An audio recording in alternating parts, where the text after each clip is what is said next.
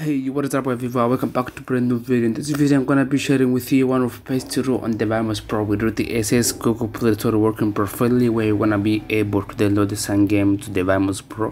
Xposed the installer as well working perfectly. The link will be available on the description of this video. Download it from there. So let's get started. But before we get started, I want to ask you if you are not subscribed to my channel, please subscribe to my channel, the notification to get notified about new video, and let's get started.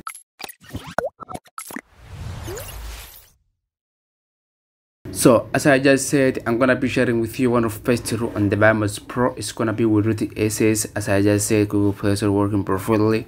Xposed the installer as well. It's gonna be working. The link will be available on the description of this video. As I just said. So let's get started by download. First of all, we need to download the VMOS Pro. I'm gonna be using this version of VMOS Pro. The link will be available on the description of this video. I'm gonna be using 1.0.0. The link will be available on the description download on your android device you don't need to worry about it. It doesn't have a virus. It is 100 percent safe.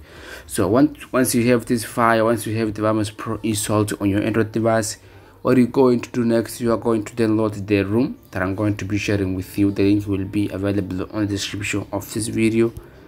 Download once you have this file on your android device the ROM what you're going to do next you are going to create a new folder on your android device and name it as uh, Pro as I did and open the folder that just created the VMOS Pro and created a new folder on it and name it as backup you need to put the ROM that you downloaded on the backup folder okay? Once you did that what you're going to do you are going to open the application the VMOS Pro the one that you just downloaded it on the description of this video. All right on the first time opening the application the VMOS Pro. You're gonna be asked the VMOS Pro will ask you to give the permission to the application. Go ahead and do it. You don't need to worry about it. It doesn't have a virus. Give you all the permission to the application. I have already did that. In my case I'm just gonna be clicking right over here add a virtual machine to add a virtual machine on the VMOS clicking on it by doing that it will shows up this window because i'm not connected on internet you need to worry about it. We don't need internet connection. Just click right over here on these three dots. By doing that it will open this window. What you're going to do you are going to click the first one which is saying rec the virtual machine. Click on it. By doing that it will appear there the ROM. If it does not appear there this ROM make sure to build the file on the backup folder as i just showed you guys here. Create a new folder on your android device name it as VMOS Pro. Build the ROM on the i mean create a new folder on the VMOS Pro this one over here. And name it as backup on the backup folder Build the ROM on the backup folder. By doing that when you open the application the VMOS Pro click on these three dots in the corner start to rec you will have there this row on the VMOS Pro. Just to click on it and the VMOS Pro will start to ask me it will ask you if you really want to do that. Go ahead and click it or start to rec. The VMOS Pro will start recovering your file. What you have to just be patient and wait it won't take too long just three minutes two minutes depending on your device just to wait a little bit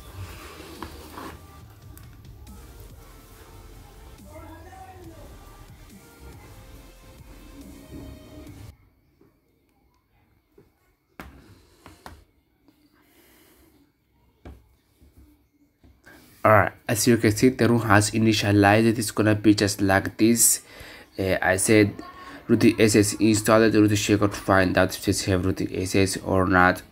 Uh, super user installed working perfectly. Xposed the installer as well to customize the ROM if you want uh, Google Play Store working perfectly to, to download some game, some application to the VMOS Pro to hack if you want to hack some game or some application. Okay, so it's gonna be with Android 7.1.2.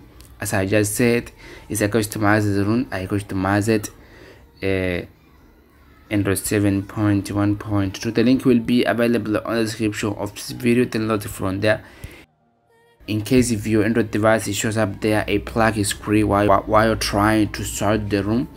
I'm gonna try to help you to fix the problem with the plug screen go ahead and go to setting of your android device. Click the setting icon of your android device. Scroll down to the last option about phone or about device. Software information. Build the number. Click on build the number around seven times to activate the developer option you're gonna be asked the password of your android device. Go ahead and confirm your password. Return. And you will find the developer option. Just clicking on it. All right here on developer option just scroll down.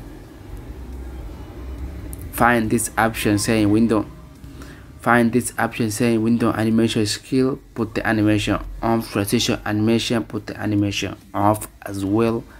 Animated threshold put the animation off as well Uh, here on for here on 44xm saa make sure to enable disable while make sure to enable as well. Scroll down. Here on pay current preset limit go ahead and click on it.